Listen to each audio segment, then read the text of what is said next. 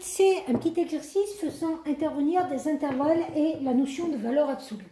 Donc par exemple, je donne un exemple sur la première ligne. Je veux représenter l'ensemble des x qui appartiennent à l'intervalle 2, 6. En termes d'inégalité, ça veut dire que 2 est inférieur ou égal à x, inférieur ou égal à 6. Moi, ce qui m'intéresserait, c'est de représenter ça à l'aide de valeurs absolues.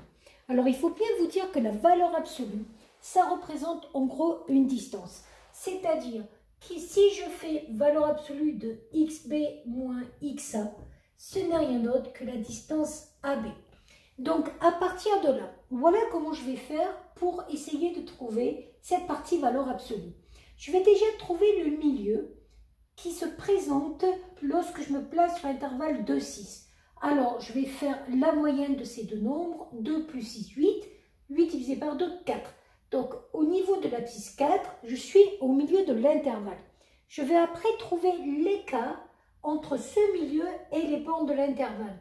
Donc, entre 4 et 6, il y a 2, et il y a bien 2 aussi de l'autre côté. Donc, ça veut dire que si je prends une valeur dans cet intervalle x, la distance par rapport à ce milieu sera plus petite que la moitié de l'intervalle. Or, la distance par rapport à ce milieu, comme j'ai dit ici, c'est valeur absolue de x moins 4 elle sera inférieure ou égale à la moitié de la distance de l'intervalle, donc inférieure ou égale à 2. Donc je vais faire après les autres exemples pour voir comment ça fonctionne. Donc ici j'ai un intervalle, donc j'ai x qui appartient à l'intervalle 1, 9. Ça veut dire que 1 est inférieur ou égal à x, inférieur ou égal à 9. Je vais d'abord chercher le milieu ici de l'intervalle. Pour avoir le milieu, je fais 1 plus 9 divisé par 2. 1 plus 9, 10, divisé par 2, 5. Ensuite, je trouve l'écart de ce milieu aux bornes. Entre 5 et 9, il y a 4. Et j'ai même le même écart de l'autre côté, 4. Ça veut dire que si je prends une valeur x dans cet intervalle, l'écart par rapport à 5 sera automatiquement inférieur ou égal à 4, parce que sinon on déborderait de l'intervalle. Or, l'écart se note en valeur absolue x moins 5 inférieur ou égal à 4. Donc là, ici, je pars de la valeur absolue. Donc, en partant de cette valeur absolue, je vois que l'écart de x se fait par rapport à la valeur 2. Donc, je fais mon axe, je place 2.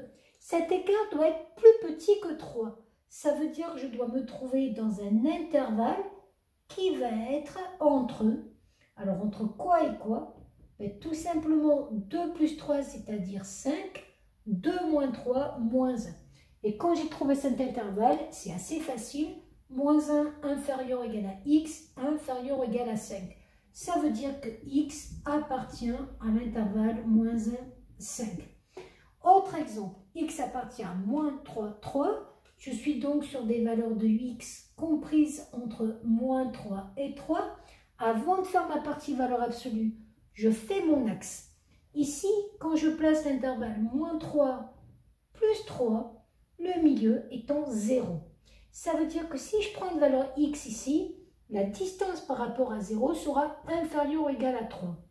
Or, la distance par rapport à 0 se note valeur absolue de x moins 0 inférieure ou égale à 3. Dernier exemple, x compris entre moins 4 et 2. Donc j'ai x qui appartient à l'intervalle moins 4, 2. Je ne vais pas trouver la valeur absolue directement. Je vais faire comme ce que j'ai fait depuis le départ.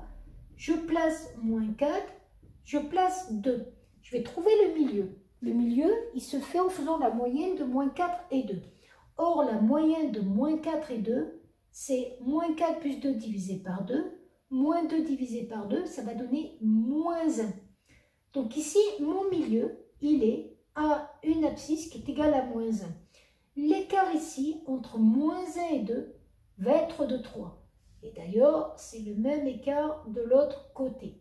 Ça veut dire que cette fois-ci, l'écart entre x et moins 1, c'est-à-dire x moins moins 1, va être inférieur ou égal à 3. Ça va me donner valeur absolue de x plus 1 inférieur ou égal à 3. Voilà